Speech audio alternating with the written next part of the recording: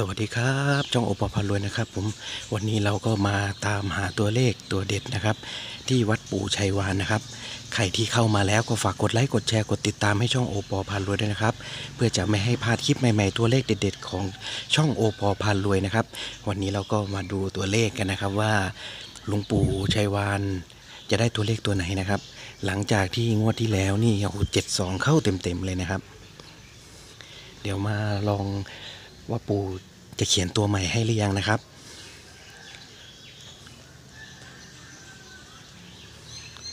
นี่ครับอันนี้ก็บริเวณวัดนะครับผม บริเวณวัดปู่ชัยวานนะฮะ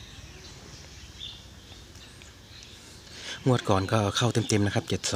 72 ตัวเลขทุกตัวมีความเสี่ยงนะครับ มีโอกาสเข้าและมีโอกาสหลุดนะฮะ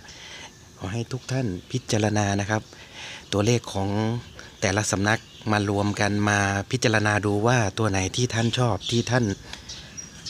มักนะครับ เอามารวมกัน เอามาพิจารณาดูว่าตัวไหนที่ท่านชอบ ค่อยลงมือซื้อ ใครที่ชอบลงทุนเรื่องตัวเลขนะครับ ให้พิจารณาดูนะฮะ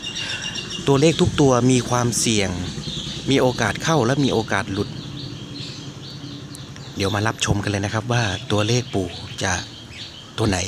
หรือว่าท่านยังไม่เขียนอ่าเดี๋ยวมารับชมดูนะครับ ตอนนี้ก็รู้แล้วนะครับว่า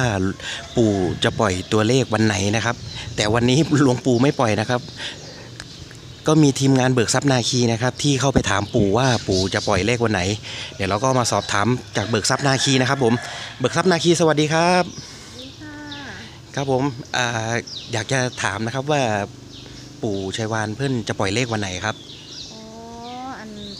ปูเพิ่นได้เลขมาแล้วค่ะ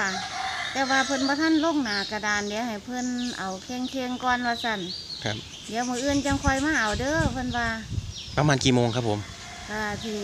จังหันเช้านี่ละค่ะเดี๋ยวมื้ออื่นจังค่อยมาติดตามกันค่ะ เพราะว่ามื้อนี้เบิกทรัพย์หน้าที่มากอะบ่ทันได้ตัวดีเด้อกันค่ะ โอ้แต่ว่างวดที่แล้วเขาจังๆได้ค่ะ72ครับปูเพิ่นบ่อยากลงหลายตัวให้เพิ่นเน้นก่อนว่าสั่น อืมอ่า FC ถาก่อนเด้อมื้ออื่นเด้อจ้าโอ้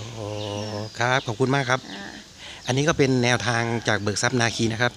จากที่ช่องเบิกทรัพย์นาคีได้เข้าไปสัมภาษณ์ปู่นะครับ ทางโอปอพารวยก็ยังไม่ได้เข้าไปสัมภาษณ์นะครับ ก็สอบถามเบิกทรัพย์นาคีว่าปู่จะปล่อยพรุ่งนี้นะครับ เดี๋ยวพรุ่งนี้โอปอพารวย จะรีบมาเอาตัวเลขของปู่ชัยวานมาฝาก FC นะครับ คลิปนี้ก็ขอจบเพียงเท่านี้นะครับ สวัสดีครับ